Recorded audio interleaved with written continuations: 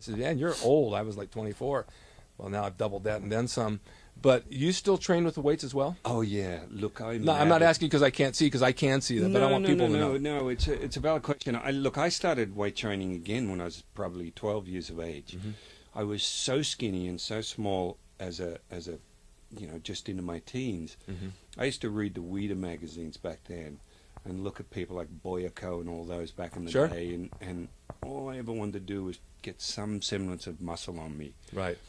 This is the reason when I started karate, I liked it better than judo because I used to read in judo the ads on the back of comic books. You know, one finger you can do Of this course. and that. And we found out that wasn't quite That true. That doesn't work too I well. was like a cartoon character getting brown belt used to spin me up and down the dojo, and uh, so I like karate. But the point being that what weight training came became for me when I got into martial arts was a supplement to my martial arts training.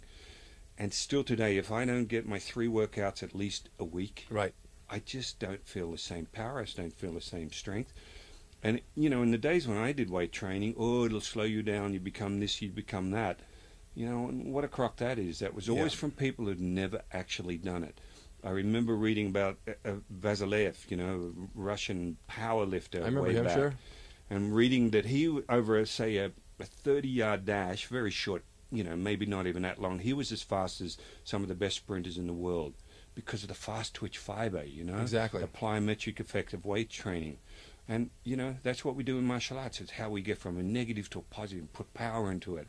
The quads are strong, you know. The glutes are strong. You've got a good core. Exactly. What better than weight training to give you that? And you know That's what it does. Fantastic. But yeah. how about your diet? You you follow a pretty good diet? Yeah, I'm, I'm I'm pretty. You know, I used to be fanatical with diet. When I was in my teens and even twenties, I would fast one day a week. I only ever ate six days a week. So I'd take a 24-hour fast, nothing but honey, apple cider vinegar, and a little bit of um, and water, and that just as, Sure. a, as a toxic dissolver. Right. And uh, I I would do three fasts a year that involved ten days of just having distilled water. This is this is That's way tough. back before anyone was doing that stuff. Since you know when I came to America and I started touring, you know doing doing work with the rock and roll bands, good foods have become harder to obtain. But so now the key for me is moderation. You know, I'll have oats. You know, I'm lucky my wife is just as into the health foods as I am. Right. So is mine. It helps. You know, I'm not going to be as strict as I used to be, but absolutely. I mean, we know that what we put into our mouths is, is so important. I, I'm, I'm a believer in supplements. I've always taken them. People say, well, you know, you just end up, you know, peeing it out. And I say, you know, my feeling is that the worst I can have out of it is expensive urine. That's right, and you can recycle that as well. Yeah, and you know, but if you throw in that barrel, I you know call it with with good stuff. Whatever I'm lacking, hopefully, is taken up with the supplements I take. That's how it works. Yeah, and it's so it's good insurance. So it's high, you basically uh, high protein as well yeah, high protein diet, and low carb. Complex carbs. Yeah, that's I'm all into the you know very low glycemic index foods. That's why I like the oats. You know, with free strawberries, free berries, and Yes. things like that. exactly. Um, it's it's interesting because when I first read the Sugar Busters book, you know, it, it kind of made a lot of sense because in Australia you're brought up like here with meat and potatoes and everything. Yeah. Now, you know, I tried the, this whole getting into this high, the high glycemic index foods and low glycemic index foods, and I looked at what are what are a couple of major foods that I have every day that I could cut out to really to try it out, and I cut out bread and I cut out potatoes. Right. Well, I was around. I did a movie. You know, I wanted to see if I could get a lot leaner for this particular role, and I went from like 198 down to 181 in a matter of five weeks. Yeah. Just cutting And that the out. The only variable was that, and I thought, wow, what a powerful indicator that is of how important it is to look at those fast or slow burning foods. You know, Right. and for energy. You know, again, oats being, you know, not everybody should know you don't want those instant oats. You want the ones you've got to cook for a while Yeah. The, yeah. The Quaker oats and everything else. Yeah, Quaker oats, and I have those, and I don't even think about food until lunchtime. It gives me incredible amounts of energy, because as you know, it's like putting logs on a fire as opposed to kindling. wood. It's slow burning. exactly. Yeah. It definitely works. Mhm. I like to eat that way. I make sure I get my protein at least three, four times a day. Uh, I train six days a week still. My legs are shot because I had torn both quads in 2001, but I can still train them. I just can't squat squat anymore. And there's certain things in the ring I can't do anymore, and I won't do because you know how it gets as you get older. There's things your body you think you can do mentally, and your body doesn't want to go, and then something breaks, then my wife says, "Okay, that's it, you're done." Yeah, but I always ask myself, do I really need to do this now? You know, Exactly, it's yeah. like high kicking and all that. Uh, you know, I can still kind of do it, but I think, well, you you know, I to? try and keep the skills up to a certain level.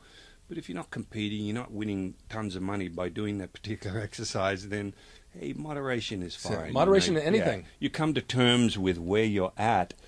Yeah, I still remember uh, Bette Davis's favorite saying that growing old is not for wimps. And I remember that saying very well. It's not right. You know, when suddenly I had rotator cuff surgery not that long ago from when I started grappling and, you know, a little bit of back. But overall, I've been pretty blessed, you know. And I think part of the blessing is having great instructors Yeah, that didn't let me hyperextend joints on a punch and all those sort of things. Same with the kicking.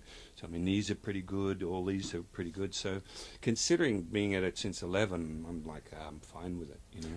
you've worked with a lot of big names in martial arts. You worked with Chuck Norris plenty of times. You guys Mhm. are good friends. hmm You worked with Jackie Chan. Yep. Done Uh, three movies with Jackie. Yeah, I love his movies. Yeah. He's really good. Name a few other people that you've been with, as far as names like that. Well, people probably know of Cynthia Rothrock. Of course, we yeah. did. Uh, we probably we did at least eight movies together. Some in Hong Kong, some here. And as I said, I was just with Cynthia today because we're trying to get Raging on a three up. You know, a couple little projects and another one called Downward Facing Dog. But and it was great just to, to re you know reconnect with Cynthia and look at the idea of Oh, doing sure. something after all this time. Uh, Michael Dudikoff. I did know, a movie with. Michael, and I saw your picture with him. Michael's a really nice guy. We did a movie for uh, Fred Ray was the director. Do you know Fred? No. Fred Olen Ray. He does. A, he used to do a lot of action films with Don Wilson. All right. And Michael did one, and I came on, and we had a fight scene, and uh, we had a lot of fun. Yeah, no, Michael, Michael's great. The first one with Michael was American Ninja, Right.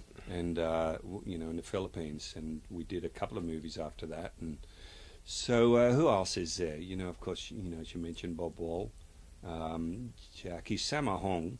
As you, I, you know, Sammo. Sammo directed Yeah. a lot of Jackie's movies. He, to me, is still the most incredible martial artist action director that I've ever worked with. I mean, Jackie used to say about Sammo, he, he looks like a monkey, but he uh, he looks like an elephant, but he moves like a monkey, That's funny. which is a real compliment because when you work with Sammo, you look at him. I remember the first movie I did with Sammo. He said, "Okay, you're going to swing a chair at my feet." He's on a table. and I'm going to do a backflip and land on my feet, and I'm looking at Sammo and going, looking for the stunt double.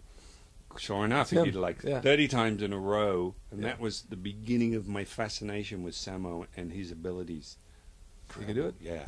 Now, action films, the ones you've done in Hong Kong, and compared to what we do here, uh, there a big difference? Yeah, there's a huge difference. There is, isn't there? Now, having said that, I haven't been to Hong Kong for a while now, but when I did them, first of all, there was no script. Mhm. They literally made the script up as they went day by day, Just like we're doing here. like we're doing here. and so, and, and whatever there was written down, it was either in Cantonese or Mandarin. Yeah.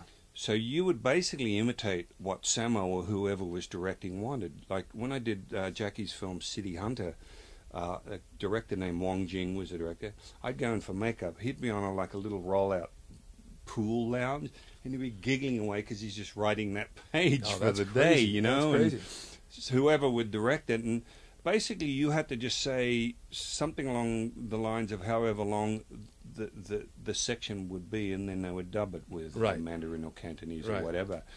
The other big difference is the action. What Jackie realized is that the kids don't want to go and see him do drama and talk. Right. A little different now, you know, but back then they knew that the money ticket was the fights. Right. So everything was put into the fights. You do maybe a, a wide shot of dialogue, et cetera, et cetera, but every bit of time. The first um, fight I did with Sammo Hung took three and a half weeks to shoot.